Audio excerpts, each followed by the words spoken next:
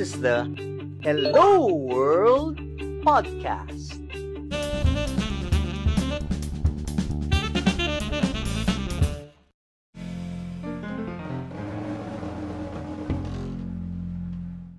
I just want to ask uh, you said burnout is prolonged stress.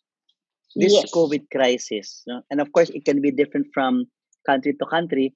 And to our community of listeners, Coach Wanda is actually based in Dubai.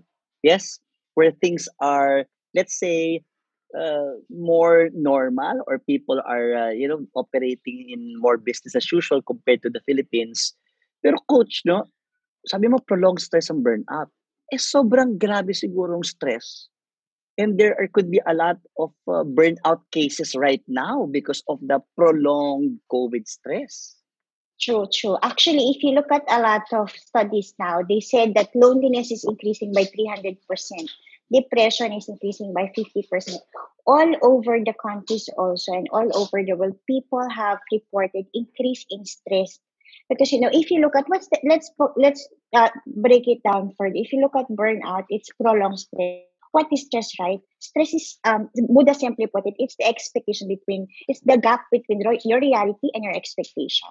Now, Mm, COVID has disrupted our lives totally. I mean, mm, in many aspects, right? In the way we do business, in the way we do work, in the way we operate at home, in the way we go mhm, out.